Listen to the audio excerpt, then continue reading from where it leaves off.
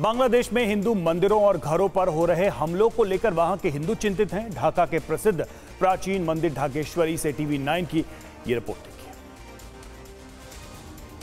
ढाकेश्वरी मंदिर, वो मंदिर जिसके नाम पर ढाका शहर का नाम पड़ा। वो मंदिर जिसका एक लंबा इतिहास है। मान्यता ये भी है कि माँ सती के मुकुट का रत्न यहीं पर गिरा था और इसी वजह से ये तमाम शक्तिपीठों में से एक शक्तिपीठ ढाकेश्वर मंदिर में हिंदू समाज से जुड़े लोग जमा हैं। वो बता रहे हैं कि बांग्लादेश में जब सरकार बदलती है, पहला हमला हिंदुओं पर होता है।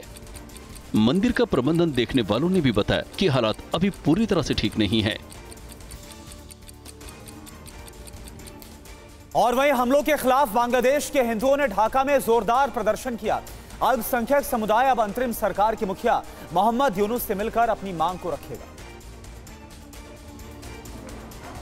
बांग्लादेशी हिंदू और छात्रों का एक प्रतिनिधि मंडल आज मोहम्मद यूनुस से मुलाकात करेगा और अपनी मांग रखेगा, जिसमें अल्पसंख्यकों पर अत्याचार रोकें और पीड़ितों को मुआवजा दें। अल्पसंख्यक सुरक्षा कानून तुरंत लागू करें। अल्पसंख्यक मामलों का मंत्रालय स्थापित करें। हिंदू धार्मिक कल्याण ट्रस्ट को हिंदू फाउंडेशन में बदलें। शैक्षणिक संस्थान में अल्पसंख्यकों के लिए पूजा स्थल बने। संस्कृत और पाली शिक्षा बोर्ड का आधुनिकीकरण करें।